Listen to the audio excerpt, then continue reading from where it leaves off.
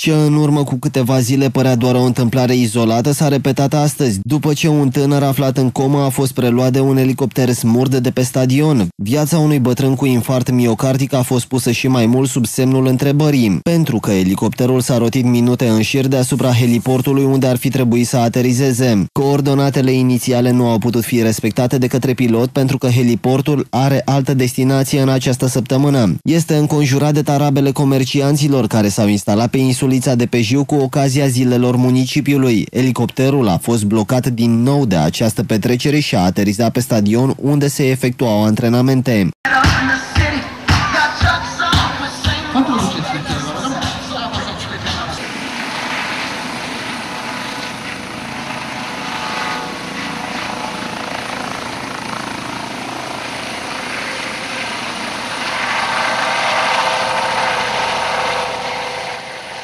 Banii pentru construirea heliportului au fost alocați de Guvernul României în noiembrie 2012. Este vorba despre o sumă ce depășește 500.000 de lei. Însă, în realitate, platforma de beton a înghițit mai mulți bani. Rămâne de văzut dacă municipalitatea așteaptă să aibă loc într-adevăr o tragedie, pentru a se gândi eventual să mute amplasamentul heliportului ori să găsească o altă locație pentru petreceri. De menționat că și anul trecut, tot în perioada desfășurării manifestărilor dedicate zilelor orașului, un elicopter smurd a preluat tot de pe stadion un bărbat care suferise un infart în condițiile în care municipiul Târgu Jiu a investit bani într-o platformă de beton, care s-a dovedit a fi heliport de ocazie. Un eveniment asemănător care arată că la Gorjen distracția este pe primul loc a avut loc sâmbătă trecută în orașul Târgu Cărbunești. Nunta anului s-a desfășurat pe stadionul din localitate, cu toate că echipa locală de fotbal trebuia să joace un meci chiar pe teren propriu. Echipa de fotbal Gilortul Târgu Cărbunești nu a putut să joace pe propriul stadion pentru că terenul a fost ocupat de nunta fiicei primarului localității. În aceste condiții, meciul s-a jucat în comuna Stoina, aflată la 40 de kilometri distanță.